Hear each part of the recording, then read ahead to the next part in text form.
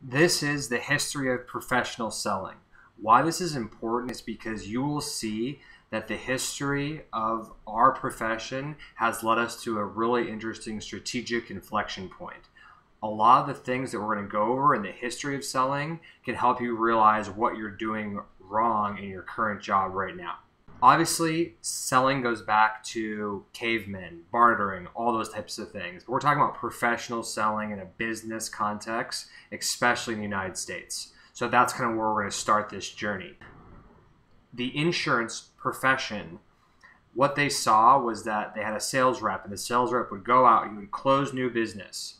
And then every single month, you have to go back and collect those checks, those premiums, every single month. You have to go back and continue continue, continue to constantly be interacting with existing clients. And that therefore this AE, the account executive, the new business closer, the hunter had no time to get new business because all he was doing is going back and collecting checks from existing accounts he closed years ago. So actually the insurance industry it really developed the initial role specialization and they developed account executives, AEs or hunters, and account managers, AMs or farmers. So all this role specialization that we talk about in predictable revenue actually occurred you know, hundreds of years ago uh, with the insurance industry. Fast forward a little bit, and you know, we have snake oil salesmen. So early 1900s, the profession was seen as something that was essentially uh, for slimy sales guys, for snake oil salesmen. It seemed as unprofessional and unethical. Then something big happens.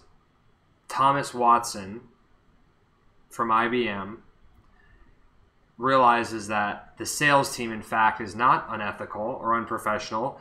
It's just the opposite. If we make them professional, it can be a competitive advantage. So what Watson figures out is I'm going to have the baddest sales team on the planet, and that's going to be my competitive advantage. And I'm going to make sure that they're the most trained, educated, professional sales force in the world to, to sustain this competitive advantage and basically push my products harder than anyone else.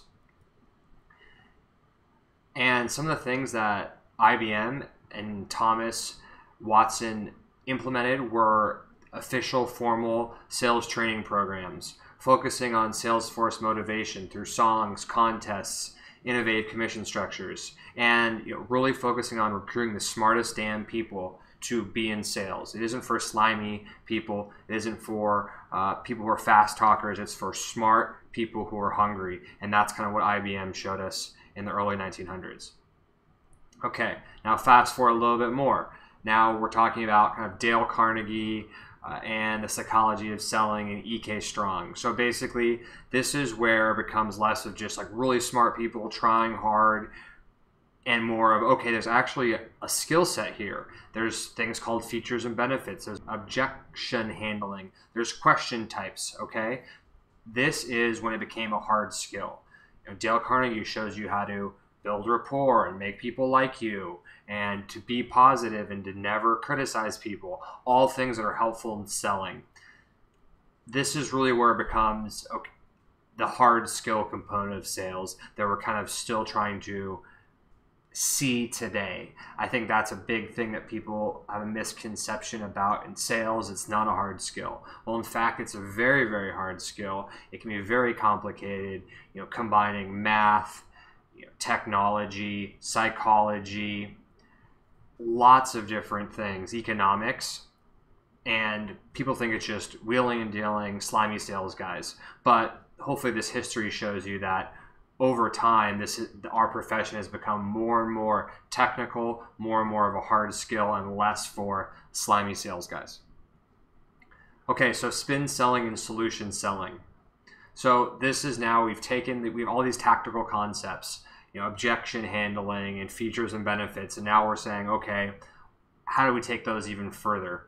And one of the ways is open-ended questions and solution selling. So even even you know as recent as 1988, before 1988, that kind of widespread thought was that you just shove product down the customer's throat. And what spin selling basically said was no, you ask a myriad of questions to identify a need. And if it, if there is a need, then maybe your product can fill it.